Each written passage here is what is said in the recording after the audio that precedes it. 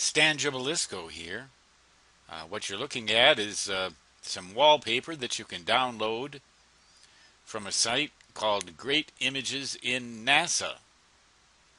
And uh, this, of course, is a montage of Jupiter and its moons. But what I'm really looking uh, to show you here is a clarification of what the different core symbologies look like in transformers. Now, these all appear to be one to one transformers, but it doesn't matter whether they're step up, step down, or whatever. If you see nothing between the two windings, as in A, that means it's an air core transformer used uh, pretty much exclusively at RF.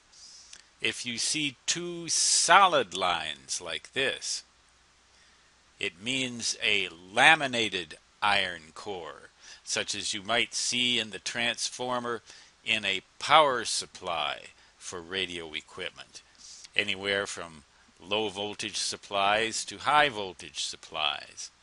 And if you see a pair of dashed lines like this, it means a powdered iron core. Those are used at low frequency uh, LF and medium frequency radio frequency uh, applications.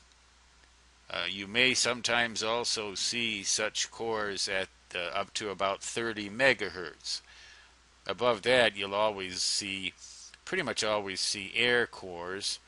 Um, these powdered iron cores, by the way, are very common in toroidal transformers. So uh, when you see these symbols like this, any one of these three, you can be sure that that's what they mean the core should be. Sometimes, unfortunately, they get uh, engineers and draw and uh, illustrators get these things wrong, and uh, there's nothing you could do about that. Uh, but if you if it's a project diagram, uh, it should clearly be correct. You should not have any mistakes in that.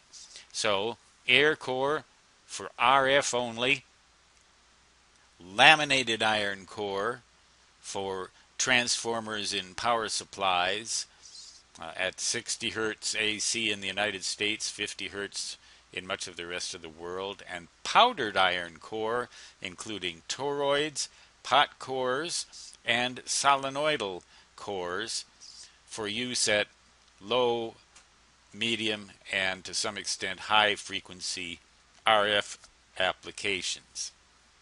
Just so you know, you're not confused by what these uh, little lines mean. Stan Gibilisco returning to the planet Jupiter montage. I'm not really here, you know. I mean, I'm not really in the vicinity of Jupiter. The magnetic field from the planet would attract so much solar energy particles uh, that it would fry my brains out even faster than they already are getting fried. Until next time, Stan Gibilisco saying peace out from the black holes of Dakota Territory, United States of Advancement of Knowledge. Until next time, so long.